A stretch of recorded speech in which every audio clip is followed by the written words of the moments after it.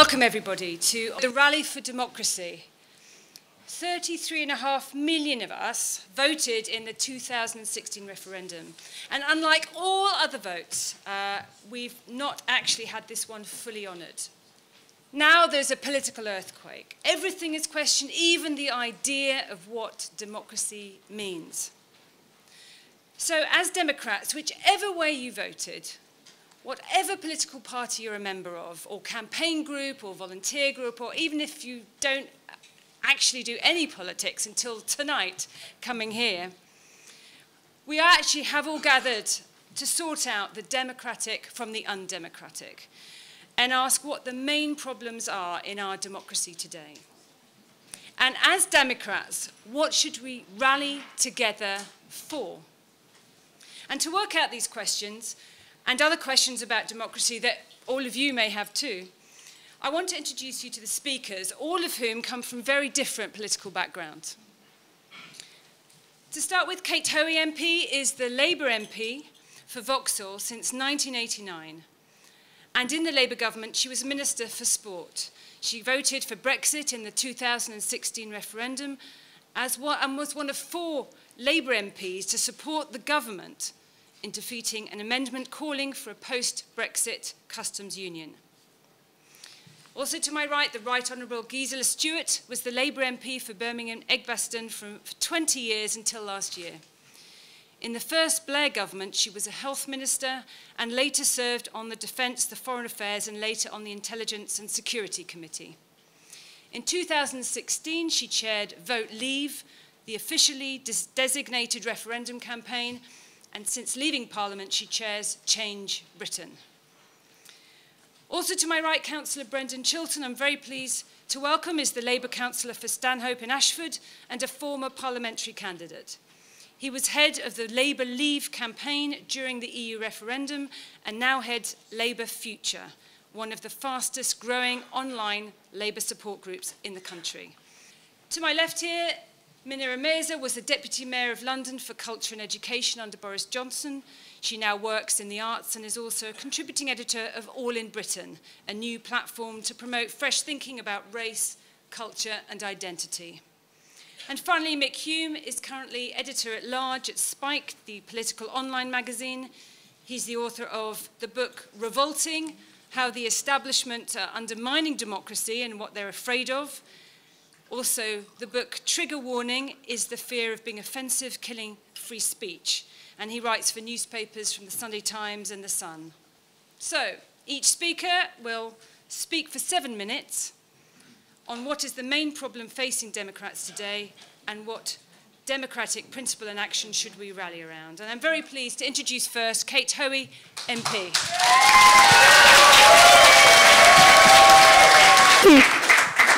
Very much for that. I, I, I, take it there's not many people who voted to stay in the EU in the room. Yeah and actually, it's really nice to come to a big meeting of people who support democracy and therefore support automatically or should be supporting the result of the referendum. Uh, because if you live in London and you read the Evening Standard, you sometimes think you're the only person who actually uh, honours the referendum.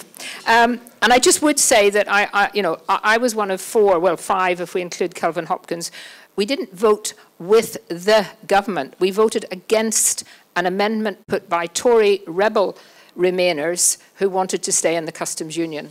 And, you know, I had a choice voting for something that I totally, totally disagreed with or going into a division where there would be lots of people from other parties, particularly Conservative Party. No choice in a matter like that if you believe in democracy. And if you believe in sticking to what you've said, and for many, many years I've made it very clear my views on the EU. But talking about democracy, which is what you know tonight is, is all about, and I do really congratulate um, the organisation Vote Democracy for organising this. We must remember 17.4 million people voted to leave the European Union. And that wasn't just you know, an ordinary vote like a general election, because to get 17.4 million people, which was the biggest ever vote, the biggest mandate for anything uh, that we'd voted for in the past really does make that stand out.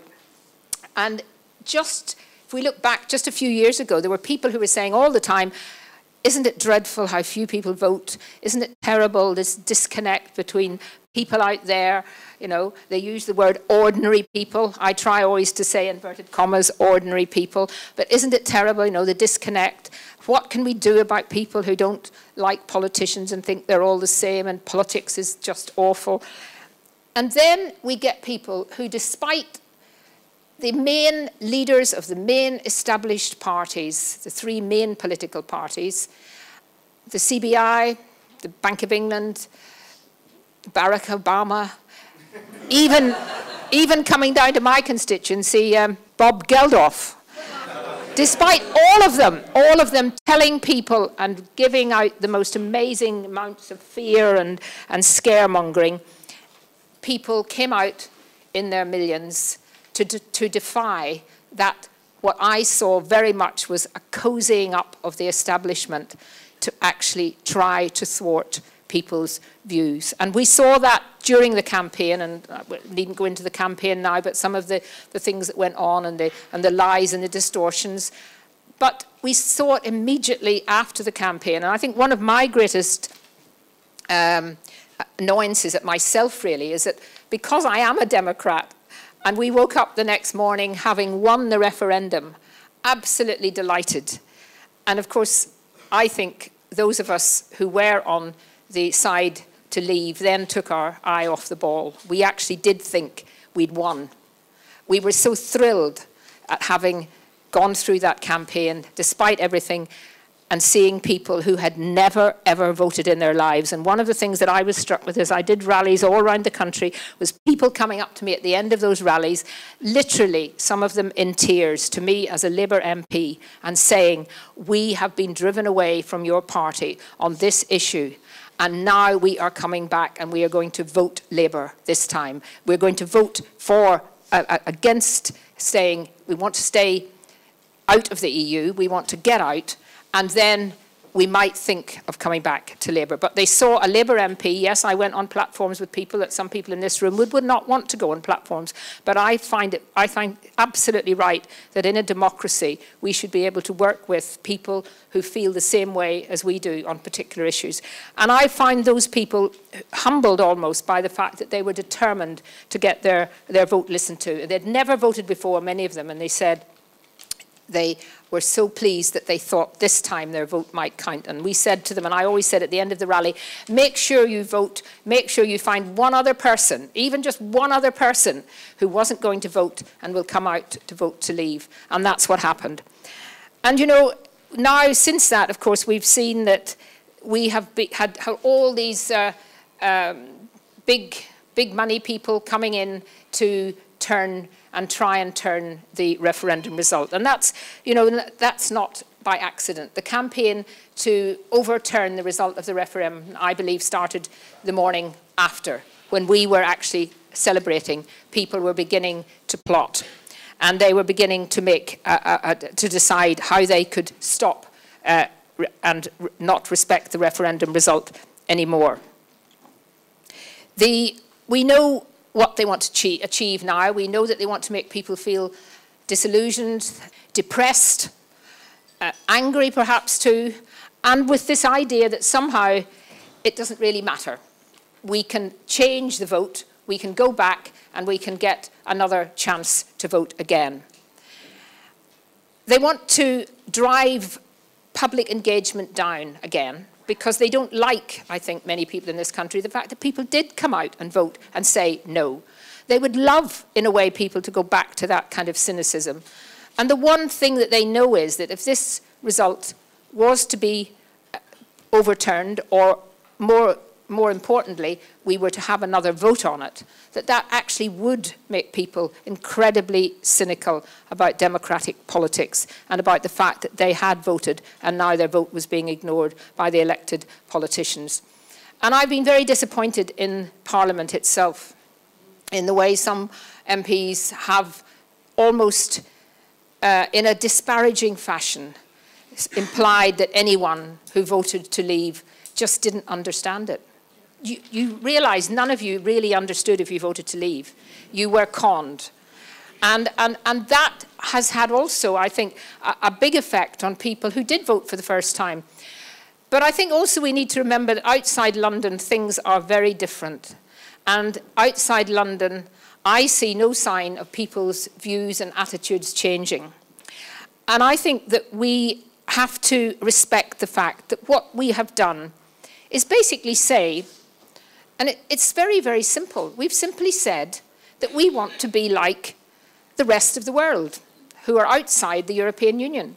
We want to be a democracy that allows our politicians to make the mistakes, to do the ridiculous things, to do the good things when they can, and if we don't like them, we vote them out. The European Union has not allowed that to happen, whatever people say. And I believe that in the end, we have to be willing to actually walk away from those negotiations. We have to be able to say we are not prepared to water down the demands of the leave vote, of what people voted for. And what has been so shocking is that within the government, elements of government from the very beginning have not had the courage and the, uh, the ability or the willingness to actually stand up for our country, to actually say, we're a proud country. We're a big country. We're the fifth economy in the world. We know that we can, that we can handle things extremely well. They have not been prepared to do that. And they have not, in fact, been prepared to even come out. The Prime Minister, over and over again, has not been prepared to come out and actually say there is a great future outside the European Union. So I am concerned that we, need, we may need to actually say we were prepared to walk away. I just want to end by reading um, one little bit from, I've, got, I've had hundreds of letters from people in the last month or so, all people from all over the country, very, very depressed about what's happening. And that's why these kind of rallies and what we're doing with the Leave Mean Leave campaign all around the country are so important. We have to raise the morale of people again and let them not feel that we're deserting them, that sort of London and the intellectual elite and the establishment has, is, is ignoring them. And this, this lady, she is, I think she, was, she said she was 85, and she said, my husband and I support Brexit and are, were both overjoyed on the 23rd of June 2016 when Leave won the referendum. But I remember my husband saying, he's since died actually since that, I remember my husband saying during the referendum campaign that if by a miracle Leave were to win, we would never be allowed to leave. I've feared this from then, and sadly, it looks as though it's been proved right. We must not allow people like that to be uh, ignored and we must make sure that with, between all of us and our different views and aspects of democracy that we honour the vote and that we invoke democracy now. Thank you. Thank you.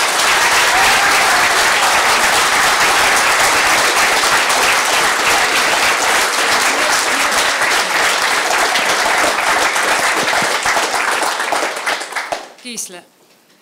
I'm Gisela Stuart, and uh, the greatest sin apparently I committed two years ago was not campaigning to leave the European Union. It was not going out on a bus. Uh, it was not being out being with Boris Johnson. It was being seen to be enjoying myself being out with Boris Johnson. and it was really quite extraordinary. That was the major charge. They kept saying, you looked as if you were having fun. and and I was trying to sort of get them to the point where I say, you know, it is not incompatible to, to, to, to go out and fight for what you believe in and enjoy it. And uh, I just want to, because I don't ever really think I've had a chance to, to really to pay tribute to, to Kate, because I have to tell you that doing Wembley Arena is dead easy. You know, you have no idea whether this is 500 people or 5,000 people out there. It's just a black room and nobody answers back. Whereas going to village halls and going to meetings like this, that's the real one-to-one -one battles, particularly if it's a hostile audience. And, uh, you know, I may have got more television coverage, but I had the easy gig, and the really hard one was Brendan and he was Kate, and going out there and, and, and, and, and fighting and, stand, and, and taking the hostility. Because there was, you know, there was tremendous hostility, and we, we're, uh, one of the dangers of democracy at the moment is that uh, I don't know any, whether any of you saw that Tracey Ullman uh, sketch about the self-help group, where they're going to say, oh my God, there are really other people out there who don't think like I do, you know. And we've now got to the position that uh, not thinking the way you do equals you have just offended me. Uh, and that, I think, is, is, is really bad. And I just want to come back and say a few things about the nature of democracy, because we are, danger, uh, we're, we're really risking forgetting what it's all about. Uh, there's, there's always this spectrum which goes on the one hand, it's mob rule you know, that whoever is, shouts loudest gets what they want. And I think we've all accepted that that's not the right way of going about it. And then there's bureaucratic tyranny, which may be by far more efficient, maybe straight, straightforward, and that's not right either. So somewhere in the middle, we find a way of negotiating these competing demands. And then people who broadly believe in similar things, they tend to come together in political parties. And these political parties, you check who's got more support in general elections. And then they go off and meet in places called the House of Commons, where they do a job. And the job they do is represent the various interests, negotiate, find common solutions, seek consensus, and, and work towards implementing the mandate they were given. And the danger we've got now is that A, people have forgotten about that that is the job of politicians. The job of politicians in Parliament is not to pick a fight with the voters. And that is what they've done as a result of this referendum. They've said there may have been a majority out, of there, out there to have said one thing, but there are more of us in here who think differently. And therefore, it is our job to show you the errors of your way. Well, it is an approach, but folks, let's just be really careful with that one. Because if you think about uh, our system of parliamentary democracy, yes, it usually works around political parties and all those things, but ever so often the politicians say, here's a really big question, question to which we want you to give us a direct answer. That's what they did with that referendum. And curiously, when we had a referendum on AV, nobody challenged the outcome when we had a referendum in Wales, where you had a turnout just over 50%, a majority of 0.7%, nobody questioned it. Scottish referendum, well, you know, it was hard fought, but nobody turned around and said the Scottish voters were totally irrational. They had no idea what they voted for.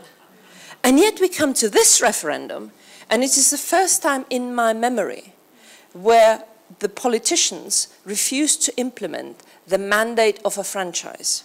And I would like us to rethink this and say the British people in the last seven years, on those three referendum, had taken extremely rational decisions on how they wish to be governed. We won't change the election system. We want to keep the United Kingdom together and Scotland doesn't leave. And we want to leave the European Union. And yet we have a discourse which kind of says, it's an illness which needs to be treated. I mean, I, I went on breakfast television with Rachel Johnson, and, and, I, and I, love her to bits, but Rachel used the, the argument for a second referendum. She said, well, just imagine if you decided to kill yourself. Uh, so you've, you've, booked the, you, you've, booked the, you've booked the ticket to Switzerland. Uh, and, and now you suddenly decide, no, no, no, no, no, I'm going to live. Are you still going to fly to Switzerland just because you've decided once to go? And I say, you're still treating the decision if it was an illness to which somehow we have to find a cure. Whereas really what we have to do is find the, um, a mechanism to implement it. Because I don't know how many of you listened to the Today program with Mervyn King on Monday. Uh, to the great credit of Mervyn King, during the referendum campaign, even though it, it was clear to those of us who knew him that he thought it was a perfectly rational decision to leave, he remained silent uh, because he thought he owed it to his role as the former uh, uh, governor of the Bank of England. I wish the incumbent governor of the Bank of England had, had equally paid tribute to his responsibility of an office. Uh, but, but Mervyn said something very interesting on the Today programme. He said, I ask myself the simple question, how can a country, the sixth largest economy in the world, one with a reputation for political stability, one with a tradition and reputation for administrative capacity, get itself to the state we're in today? And that takes you to the, the strands which are now coming together and are causing us a problem. There is the merit or otherwise of the vote to leave. We can argue over this, but we can't rerun the referendum. We had the referendum, the rules were agreed beforehand. Nobody mentioned a second referendum in the original legislation. If you want two referendums, then mention it in the legislation when you hold it.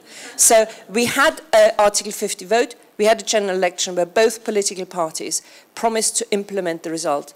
And yet, we got ourselves to this position where we are led to believe it is just too difficult. And you good people better go home and see the, the, the errors of your way. To which I say, given that we are a politically stable country, one with administrative skills, methinks you don't want to implement it. And that's the bit which I think we're up against, and that's the bit which we've got to fight. Thank you.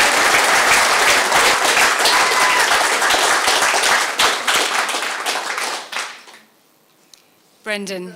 Can I just begin by thanking the, again, the organisers of this rally for democracy. I don't think it could come at a better time because democracy in this country is under threat from people who will not accept the outcome of the referendum, which was free, not entirely fair, but it was free. And we won. So they should accept it.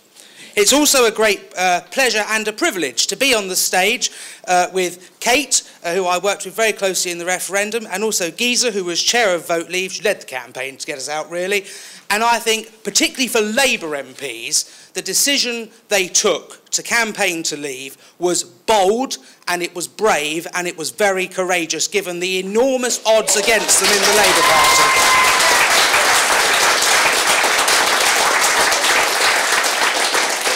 And, and even more so since that referendum because of the personal abuse uh, that's been hurled at them. I think their treatment has been disgusting, and I think we should show tonight our solidarity with them as they continue to campaign for what we all voted for to leave the European Union. So give them a round of applause.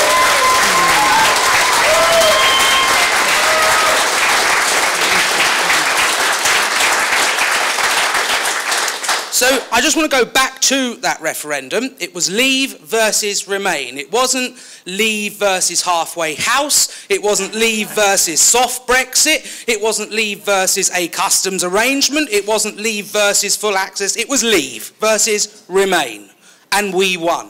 It was a David and Goliath struggle. On our side, we had little old dears in village halls holding fundraisers. We had people giving up their evenings after work to leaflet. We had volunteers donating £5, £10. And on the other side, we had Obama. We had the IMF, every party leader, the TUC, the CBI, banks, multinational corporations, big business, and they lost. And they should learn that they lost.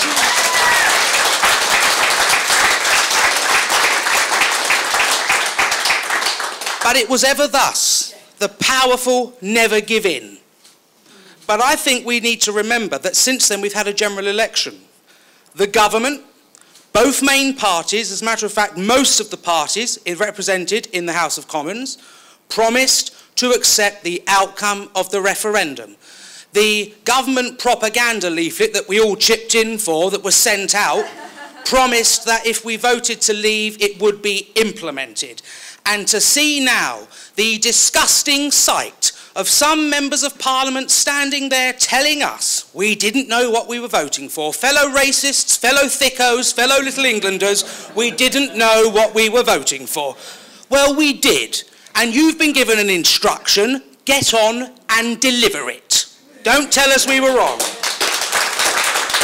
Now, since that referendum, we've had a almost daily hourly splurge of Project Fear, it is back in full force. We've had certain airlines telling us they won't fly to the Republic of Ireland if we continue on this programme of leaving. We've had our own government telling us we've got to stockpile bottles of water. One MP told us that Love Island might not continue if we leave. And unfortunately, it was a Labour MP that said it. Um, we've had government scare tactics from our own supposedly Brexit government. We've got the House of Lords. As this event is about democracy, I would suggest that we have taken control or in the process of taking control from a bunch of unelected officials in Brussels, why are we giving it to a bunch of unelected individuals in Westminster? Goodbye. We should get rid of them, in my opinion, as part of the democratic revival of this nation. And Andy Burnham, uh, the former Labour Shadow Home Secretary and current Mayor of Manchester gave a great speech the other day where he spoke about devolution to the regions of this country, to the city regions. And Brexit isn't just about taking control from Brussels and giving it to Westminster. We should be pushing power further outwards and downwards into communities. Because Brexit was not just a vote against Westminster, uh, Brussels, it was just as much a vote, I think, against Westminster. And we can perhaps discuss that as we go along. And of course, we've got Brussels. Good old Barnier apparently refusing to turn up to negotiations because he's not very happy with the proposals the government's putting forward.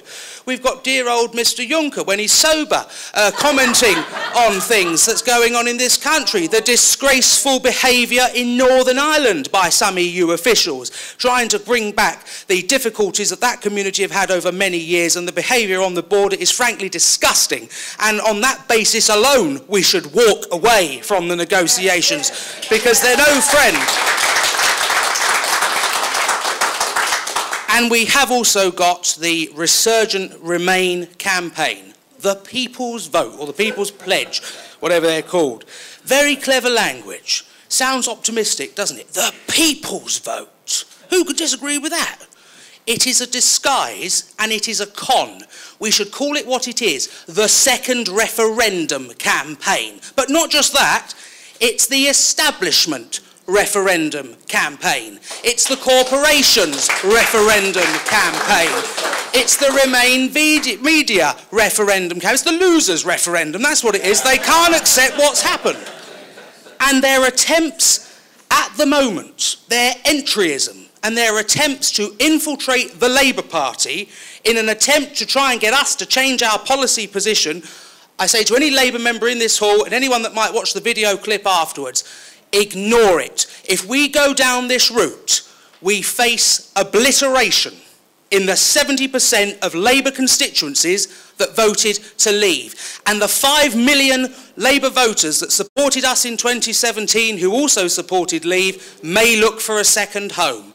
If the hummus latte vote wants to go down that route, they can. But I want to keep our core vote with us because they're the bedrock of our movement and we shouldn't be giving them that uh, particular salute with two uh, meta, not metatarsals, fingers here. Uh, I don't think we should be doing that. They're our core vote. They voted to leave and they're good Labour people and they should be respected. So, Giza's touched on this and Kate's touched on this. For the first time, in our political history, certainly in our memory, we have a situation where we have got an alliance between parliamentarians, big media, big business, some celebrities, coming together saying that we were wrong, that our vote didn't count, we didn't know what we were voting for, we need to go away and do it again. If this happened in any other country in the world, we would be looking at that and we would be saying, a bit dodgy what's going on there, not quite right, not implementing the will of the people. This isn't democracy, but it's happening here in full guise. It's not happening in secret, it's happening before our very eyes. As Democrats, we should stand up to it, reject it, honour the vote. We're leaving the European Union. Thank you.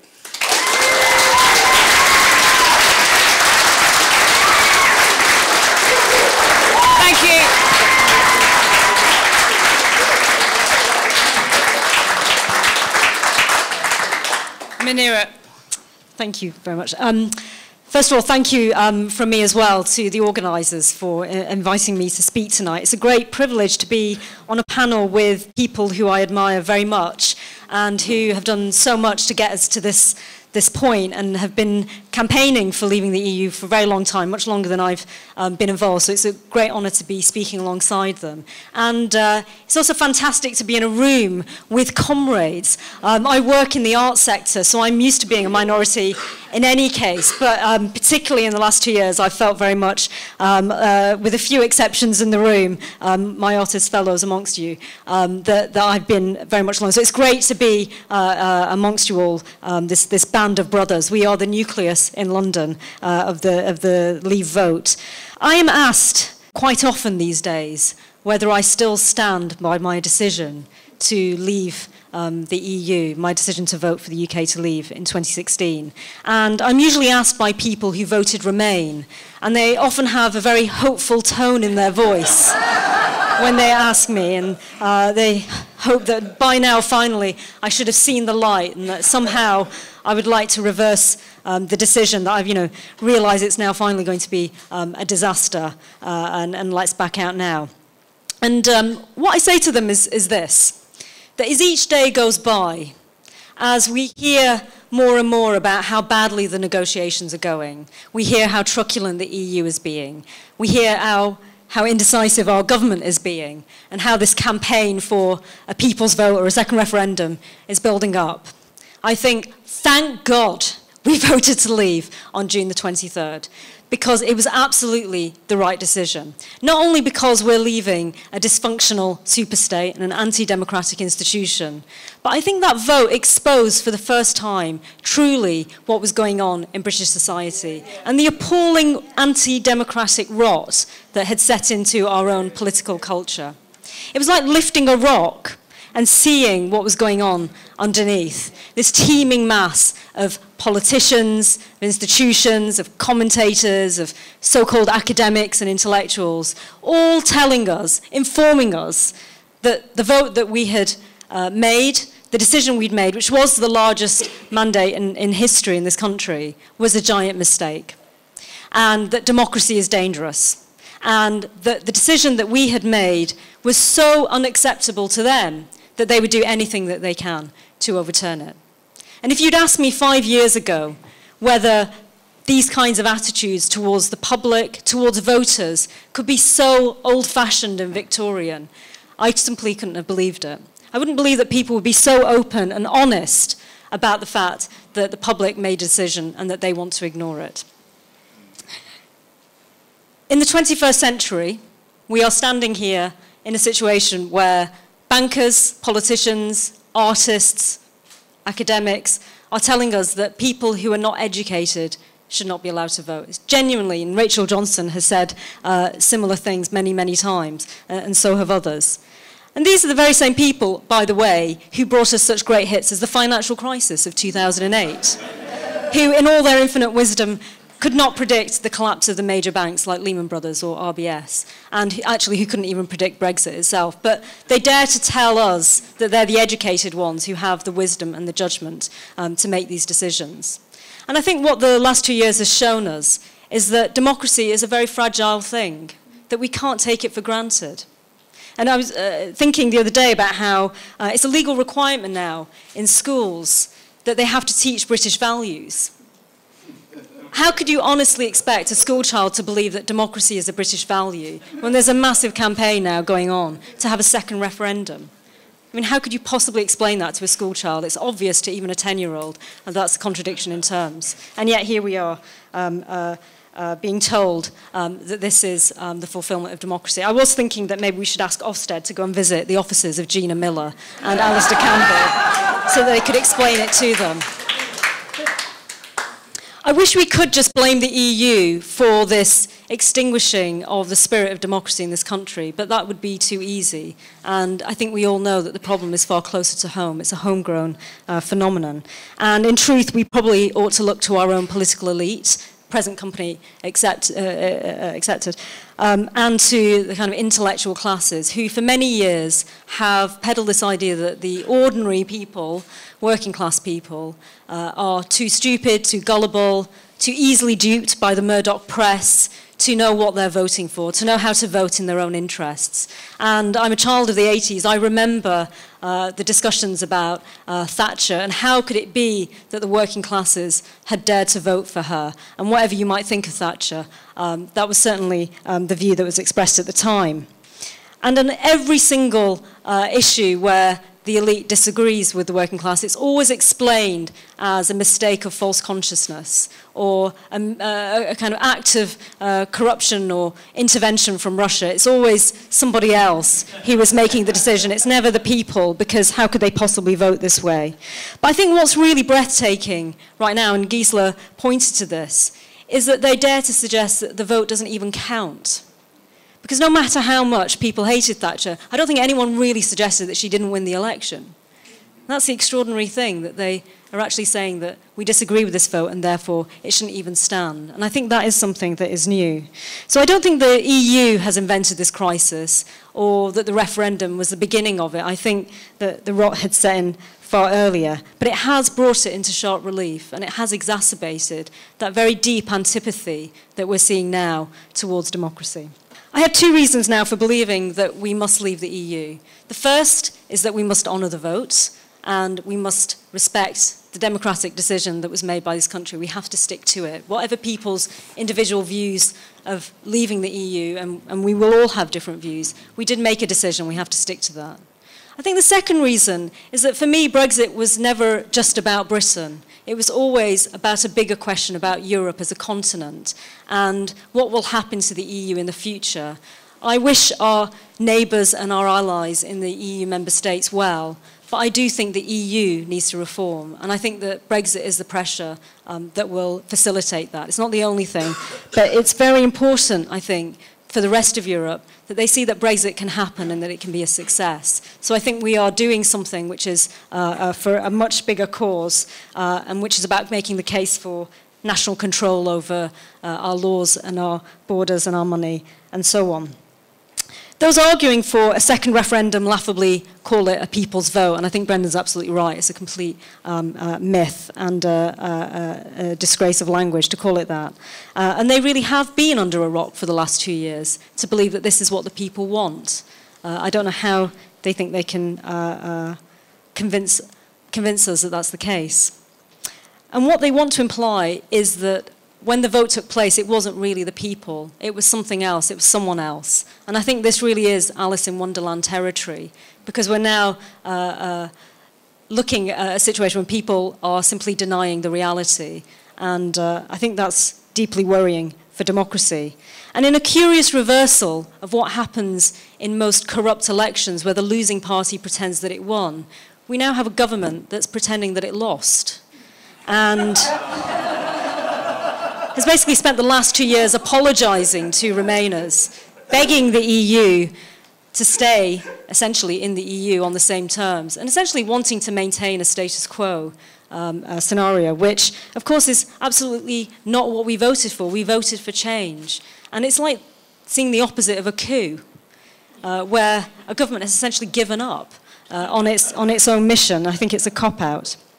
Um, I will sum up, I promise. Um, my, my final point is, is this, that I think um, I have an aspiration for our broader political culture. I think we, we will leave the EU, I believe we will. And that when we do, um, and people realise that it hasn't been a disaster and that all the predictions of, um, of economic collapse um, are not realised, I hope that as a country we will start to sober up and we will start to see um, that that kind of hysterical fear-mongering um, is something that should be treated with skepticism, and that we will regard new ideas and, and difficult ideas um, with a degree of um, calm and uh, intelligence, and we'd be much more measured about them. Um, and I think that that that's incredibly um, important for uh, the future and the health of our political culture, that, that we have a greater appetite for risk and for ideas, uh, and that we don't just shout them down uh, in an emotional and hysterical way. So I think this is important both for democracy, but also for reason itself, that we make the arguments, that we don't descend into the kind of fear-mongering that our opponents um, have already done, um, and that we make a, a much more intelligent and reasoned case. Thank you.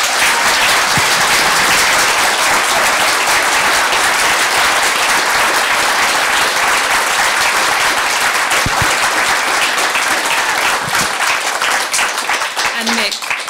Thank you very much. I am delighted to be here tonight. I'm delighted that the meeting is focused on the defence of democracy because we need to remind ourselves and everybody else that that is what is at stake in this debate. It's very easy to lose sight of that amongst all the noise uh, that we hear uh, talking about everything other than uh, democracy when it comes to Brexit and leaving the EU. Um, the kind of Project Fear propaganda that we've uh, talked about, the suggestion that's made in all seriousness that um, Britain might be on the point of starvation because of a shortage of pre-packed sandwiches uh, after Brexit. Um, that the French scallops will rise up from the sea and attack our fishermen. and that planes will be falling from the sky, uh, no doubt accompanied by plagues of locusts and frogs and presumably Russian bloggers. it's very easy to lose sight of it in all that, that what the, we are really talking about here uh, all of that is distracting from the issue of popular democracy. From, as has been said, the biggest vote for anything in British political history. 17.4 million of us voted for Brexit. And we did not vote any lunatic scheme to try and leave the freedom-loving peoples of Europe behind. We left to leave the, anti, the clutches of the anti-democratic European Union. We're Europe, and against the EU. It's a very simple concept that some people find, seem to find difficult uh, to grasp and imagine that somehow this is an anti-European argument, an anti-European uh, movement. If those 52% people's will, as expressed in that referendum, is denied, then by what standard do we claim to live in a democratic society at all? By what standard can Britain be a democracy if the expressed opinion of a majority can simply be ignored uh, uh, by the political uh, elite? Yet in our increasingly unrepresentative democracy, who actually speaks for the 52% in the political class? In Parliament, can you name me one party that is led by people who are on the side of the 52%, the Leavers? I can tell you there is one. The Democratic Unionist Party of Northern Ireland. The much maligned, the much maligned, with some justification, Democratic Unionist Party of Northern Ireland is the voice of 52% of the British voting public. Every other party in Parliament is led by people who are on the side of the establishment's Remain campaign. We've got uh, Theresa May and her Remainiac Chancellor, um, who, uh, as has been suggested, basically go into negotiations as if we've lost a war uh, rather than won a referendum. Uh, it's like Germany in 1918, the way they, they conduct themselves in, the, in, in their negotiations with the EU. And we've got the Labour leadership. And all of them say we, we, we respect the referendum result. But, and this is, they're all, the, the buts are getting bigger. Jeremy Corbyn, I saw those people demonstrating for him outside the meeting, the NEC meeting the other day, with placards saying, Jeremy Corbyn, man of principle. well, one of Jeremy Corbyn's lifelong principles was opposition to the EU. He carried Tony Benn's bag in that campaign for many, many years until the one moment in his life when it actually mattered and he signed up to the establishment's Remain campaign. Unenthusiastically, quite quietly, but nevertheless, he was on that side uh, uh of, of, the discussion. So no major political party speaks uh, uh for the 52%. Uh, and that's a quite shocking uh, indictment, I think, of our increasingly unrepresentative representative democracy. The government has decided to forget the promise that was made at the time of the referendum um, in that leaflet where they told us, anybody remember this? By the way, it's, it's funny when they're, they're, talking about all the money that was spent to somehow con us into voting leave. No one ever talks about the millions the government sent spending this to every household in the country, telling us why we had to vote Remain. And they promised us then, um, this is your decision. The government will implement what you decide. Instead of which, of course, the government has decided to try to implement what it wants, which is basically Remain by another name. And the Remain campaigner had been trying to undermine the result uh, since, the, since day one. You know, in the kind of all well through the looking glass world of political language today, you might even think it's the Remain elite who are actually the champions of democracy. They say we need to, we need to disrupt Brexit in order to defend parliamentary democracy. Now, parliamentary democracy is a very important thing to defend. And it might have occurred to them to try and offend it, defend it over the last 40 years when it was being pissed on by the European uh, uh, uh, Union's laws. In fact, they only want to defend parliamentary democracy against the British people. They only want to defend parliamentary democracy against popular democracy as expressed uh, in Brexit. And they talk about the people's vote, you know, as if the actual people's vote was somehow conducted by aliens and we need to have a rerun uh, to get some real people to vote. Let's have a second referendum on abolishing the House of Lords. I think that would be a very big step forward uh, uh for democracy uh, in our society.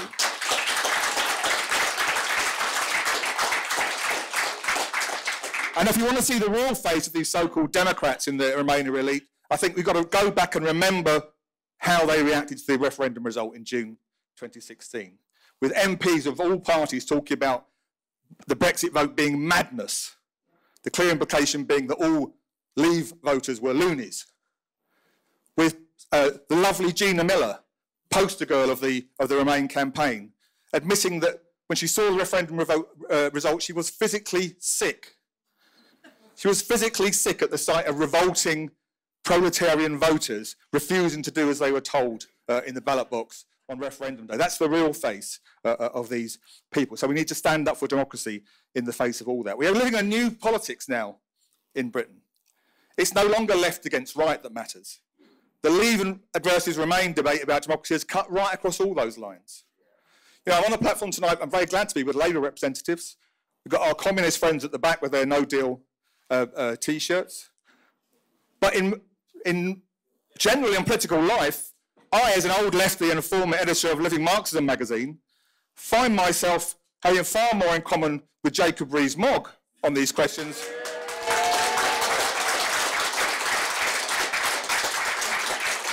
Than with 90% of Labour MPs or people who call themselves left-wing and socialists uh, in, the, in, in, in, in modern Britain.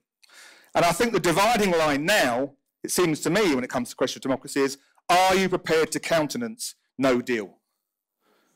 Are you prepared to countenance no deal? That is the dividing line which decides which side you are on in the great debate uh, about democracy.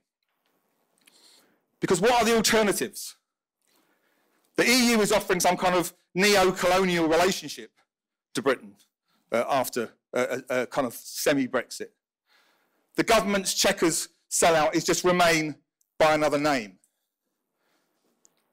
being prepared to countenance no deal is the only way to stand up for democracy uh, in the here and now, it seems to me. And yet, um, what do we hear from our political leaders? Theresa May, asked to defend the idea of no deal, says it wouldn't be the worst thing in the world. That's the kind of fighting talk we need that can inspire, inspire the nation going forwards. And Jeremy Corbyn, when he was asked the same question six. He had a lot of stick the other week for giving woolly answer to the same question six times about what he thought the consequences of Brexit would be. But one thing he made very clear that Labour, and I quote, would not countenance a no deal Brexit. Labour would not countenance a no deal Brexit. If you would not countenance no, no deal, that means in the end, any deal will do. Whatever we are offered, we'll have to accept. If we're not going to countenance no deal, any deal will do, and we have to offer whatever we're, uh, uh, um, uh, whatever crumbs we're shoveled off their, off their table. It means that, like the Tories, Labour is going to end up supporting something we might call Remain uh, by another name. And I think um, no deal uh, is the only consistent position today to say that we're in favour of democracy in this country. And let's make no mistake, when we talk about democracy in Britain in 2018, it's Brexit or bust. So if we don't have Brexit, we don't have a chance of democracy. Thank you.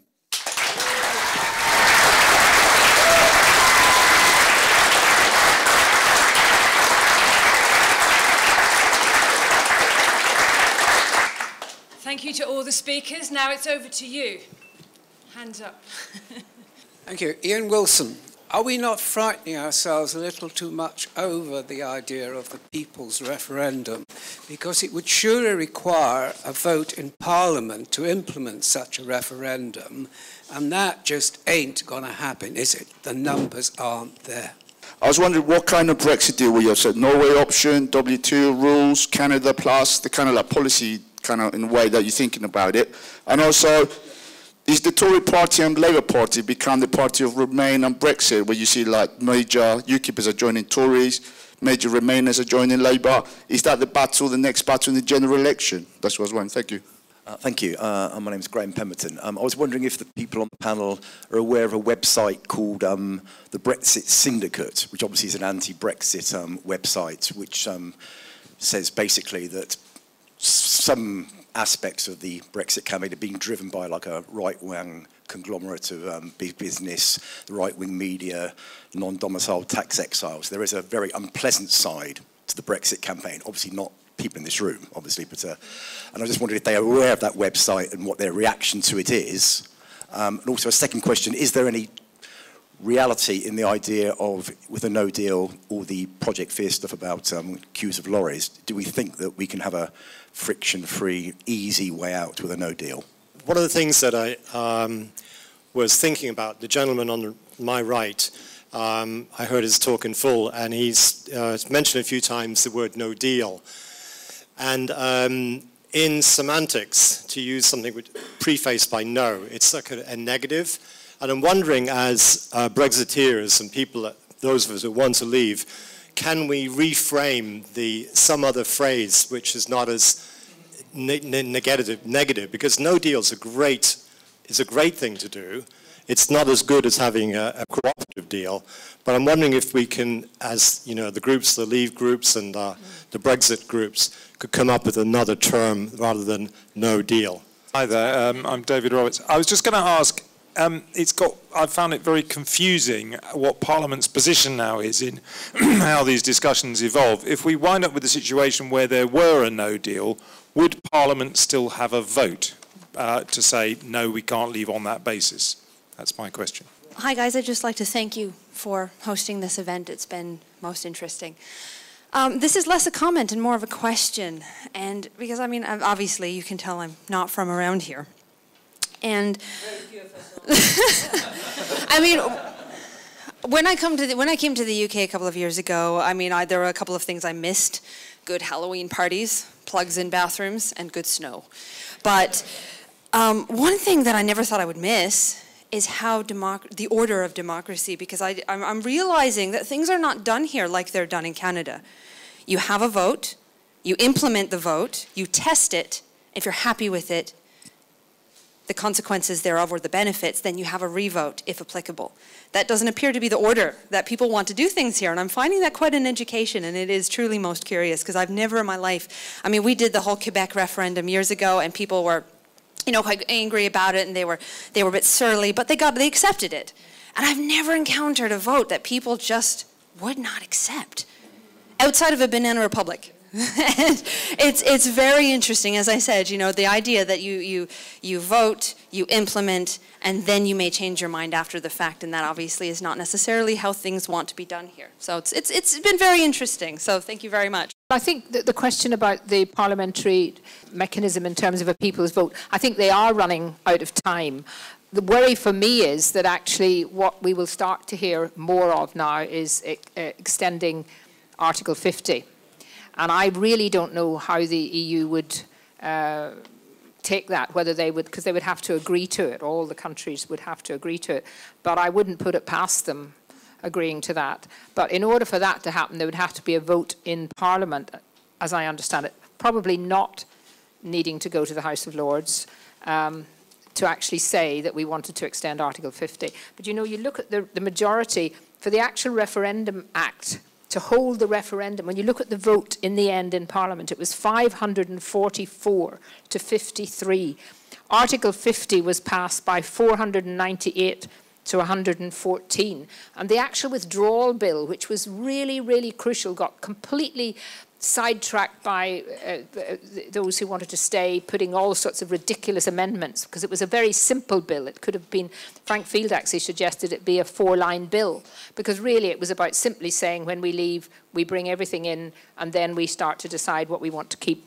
Even it went through its third reading in January by 342 to 295. And I, my feeling is no matter what um, people outside Parliament are saying and trying to suggest, I actually think it would be very, very difficult to get a, a majority for delaying Article 50. I mean, I hope I'm right on that, but you're absolutely right. But my view personally is, although I don't want a, a, another referendum in any way whatsoever, although I, like Gisela too, quite enjoyed it towards the end anyway. Um, the, the, I personally feel um, and I was right on the referendum result. I called it on the Monday in the Daily Politics when the New Statesman political editor and the Spectator political editor both asked in the same programme as me, what do you think is going to happen on Thursday? And they said, oh, very quiet, you know, very sort of quite sad. The Spectator guy said, well, I thought, oh, Remain's going to win. New Statesman smiling, the uh, Remain is going to win. And I just interrupted and said, actually, Leave's going to win, and you two don't get out of London enough. And, and uh, um, so, uh, thank you.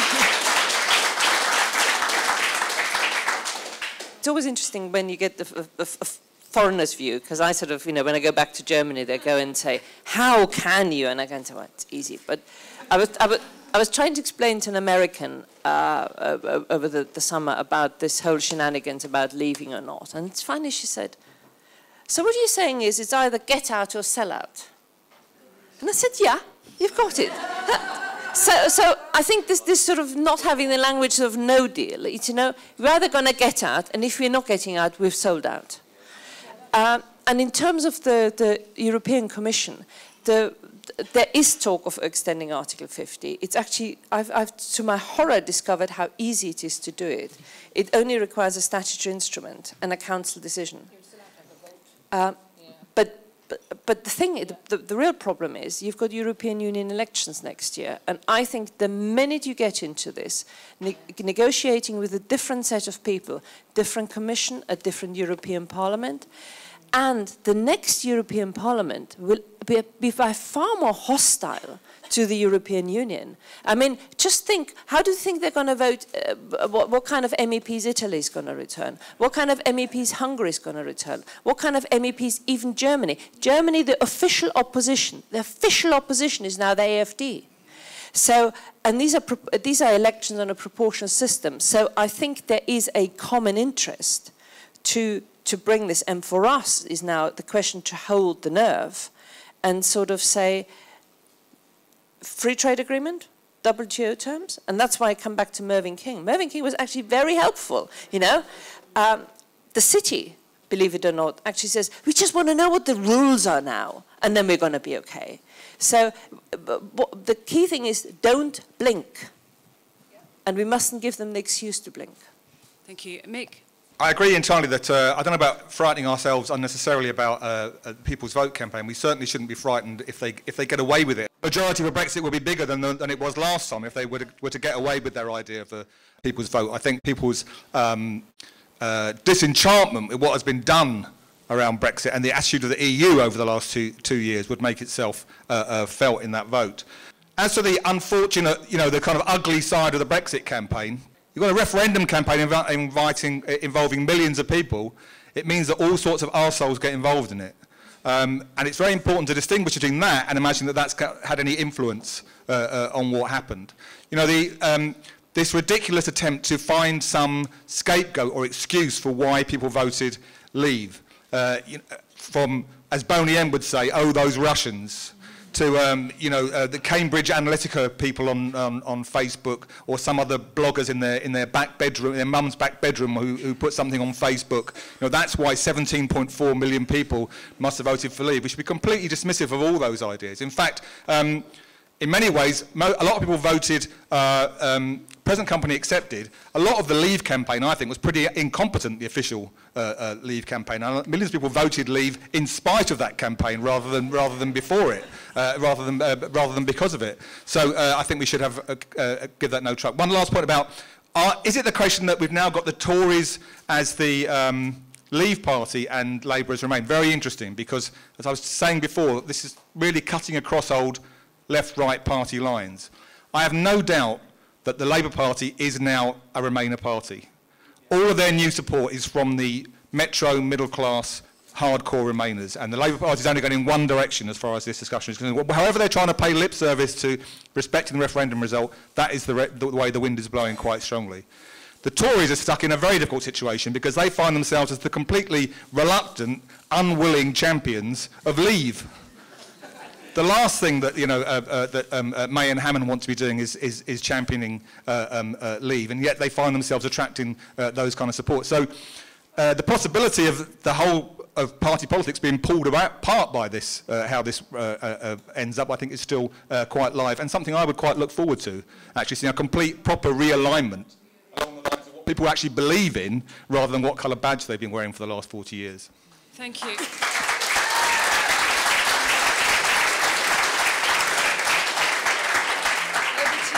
I agree with the gentleman there who said we should vote for something, people vote for something positive rather than something negative. In fact, it's my belief that the word Brexit itself, and I'm not sure exactly when it became, when it was coined, was one of the key reasons, well, certainly had an impetus that helped a Brexit to win because people were voting for something for Brexit. And I think really we need to, we've got an overwhelming you know, corporate media-led assault 24-7. Every evening when I commute home from work, I open the Evening Standard. There's another scare story. I mean, it really is the bog standard, in other words, blue paper. Um, that we need to build a positive image of that actually transcends left-right divides because it's about democracy. It's about elected government ministers being able to pass, make, draft up white papers with policy decisions that people have elected them on and not being told by their staff, oh, well, you can't do X, Y, Z because it contravenes a EU regulation or directive. And that could be something that benefits the country both from a left, more traditionally left perspective, for example, state aid for ailing businesses, or it could equally be something on the right hand, uh, more on the right free market side, for example, creating free ports in much of northern England, uh, in key leave voting areas like Tyneside, to try and regenerate those areas. So we need to work on building a, a really positive image. Uh, I think that's the message I want to make. Thank you. Thank you. My name is Paul Birch. If the campaign for the second referendum, for obviously that's what it is, as you yourself said, um, gains momentum, it gains traction, and it comes to pass, or we leave with anything other than no deal, which uh, I think uh, you're completely right. Anything that is being offered as a deal is a complete sellout. Um, why the hell should we just take to the streets? I want to ask a question about exhaustion, um, because I do think, I think someone mentioned that really what's happening now, the shenanigans, is really about exhausting us so that we, so it just doesn't happen. So I don't, I, I'm also more optimistic about a second referendum in many ways because I also think that we could win that. That would be less exhausting than just uh, plodding along and actually doing nothing through technocracy, basically. Uh, and that's what I fear the most. Um, and I think in terms of the positive thing that we have to say, we have to say we are for democracy. That's what we're for.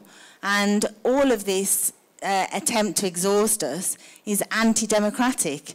And so we are for democracy. So no deal is, as people, as Mick said, I think at the beginning, um, the only thing that's on the table that is democratic now. So we have to be for democracy.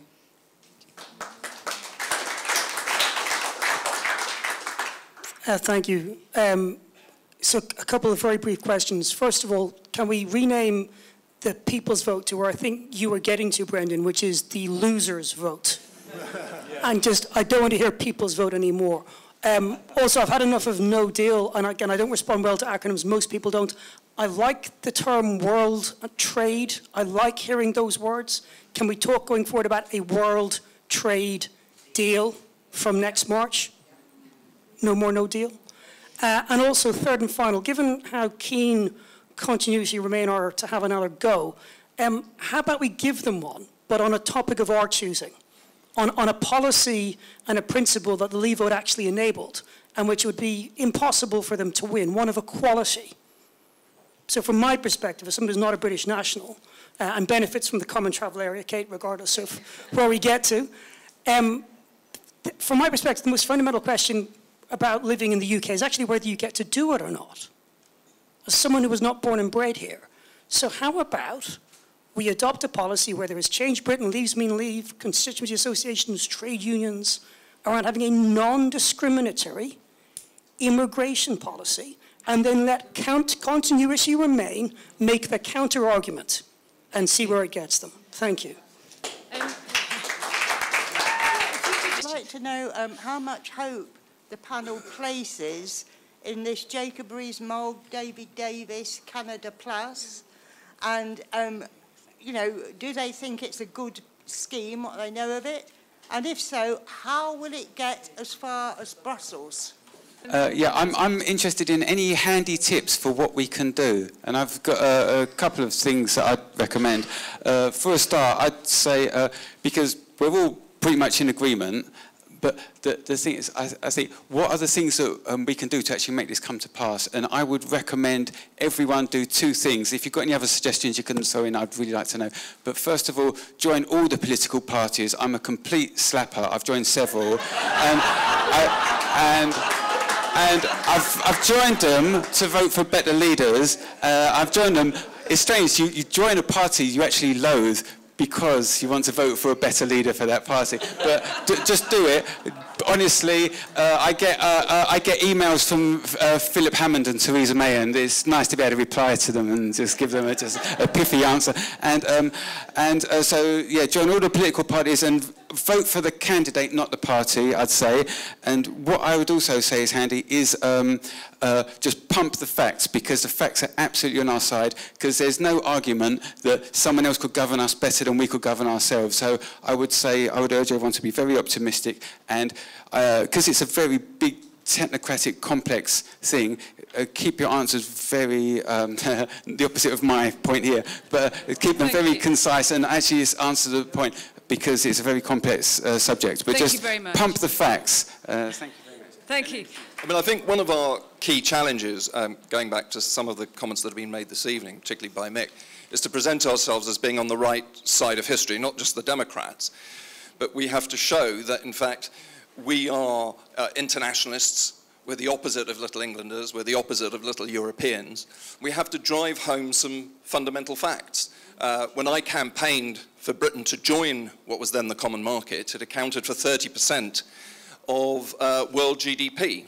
Today that's down to 18%. It's estimated that the EU is going to account for about 7% uh, within the next 20 years. EU exports only account for 11% of our GDP.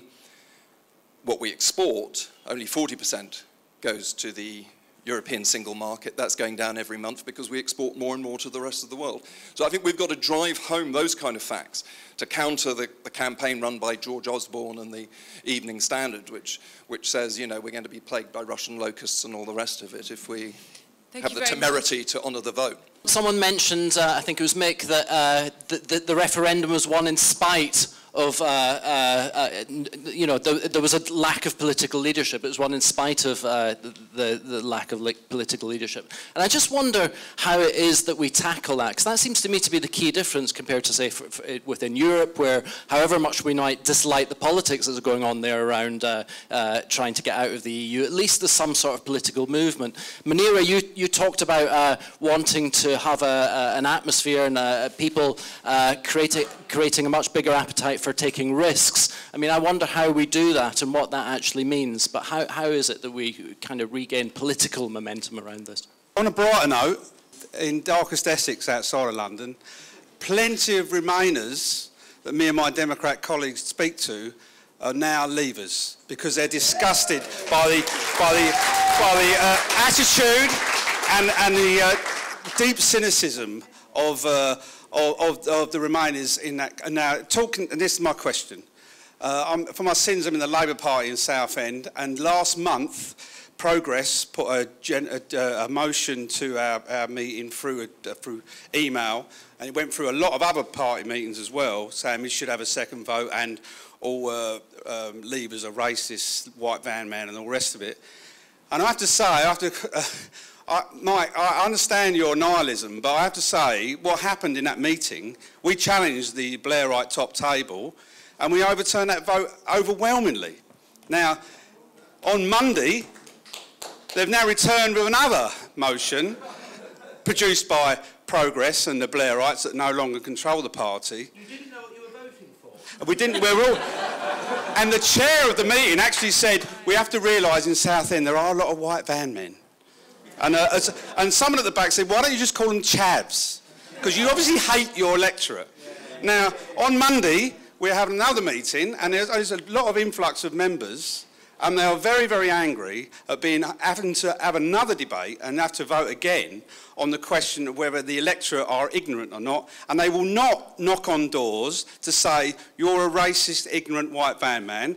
They, they want to represent their interests. So there is a, a, a movement inside the party that are sick and tired of this slow motion uh, um, Blairite coup against not only Jeremy Corbyn but any sensible politics in the, in the party to bring it back to Blairism. And that's what it represents. And that's the question I wanted to put to the Labour uh, MPs, is this slow motion uh, coup can be stopped from progress because they are losing their momentum. Brian, uh, you are a, another group of people who paid a huge amount of work and did a huge amount of work, were really important in the referendum, um, all the, the trade unions against the EU and work that was done.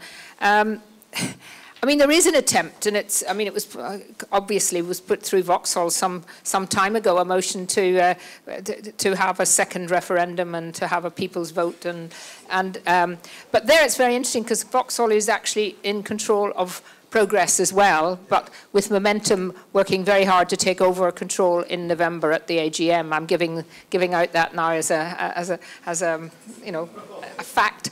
Um, uh, and, uh, you know, there's a little bit of, on, on, the one thing on some of the issues that does unite them is, is the EU, I'm afraid. There is, there is a, a um, but I think that what you managed to do was pretty, pretty amazing because you certainly wouldn't have got that in most inner London um, seats because most inner London Labour seats are um, constituencies um, are full of people who um, oh dear, oh dear, I've got to be careful, um, who, uh, who, who tend to work in, certainly in, in, in, our inner city, work in parliament, work in civil service, work in um, charities, and uh, uh, have a, a kind of attitude that, just like has been said, that if anyone who kind of dares to suggest that the EU might be a, a bad organisation, um, is, is, is some kind of racist or, or um, even worse than that.